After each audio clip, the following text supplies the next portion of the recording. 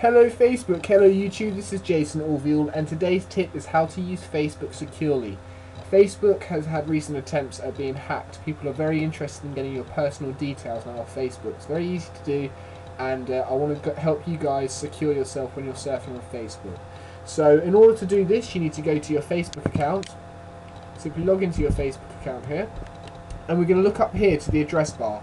If you look up here you'll see HTTP what this means is I'm actually surfing uh, in an unsecure network and what we want to do is make sure that we change this to HTTPS and the S stands for secure.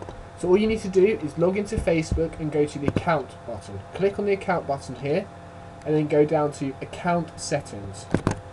You click on the account settings and once it loads up you'll um, you'll see the next page. Now just as a, as a warning you can have you can set the um, security levels as high or as low as you want, depending on if this is your personal profile or business, then you can edit this to, to however your liking is.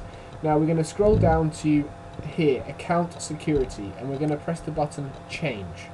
So you click that, and you'll notice that you have a little drop down menu, and there'll be a part here that says set up browsing HTTPS and login alerts.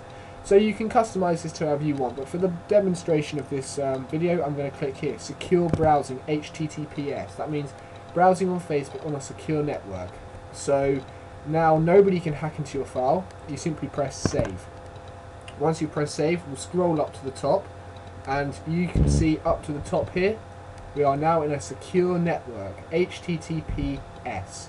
So we are now on Facebook securely guys I just wanted to help you out here you know do this now make sure that you're on a secure network. There's a lot of people that are hacking into people's accounts and getting all their information. Facebook is your social platform um, so they can get your email addresses and everything.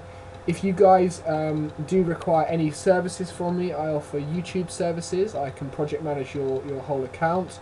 Um, I can do Facebook accounts Twitter accounts. I can get you likes followers views Twitter, absolutely everything. So just contact me using YouTube if you've come across me here.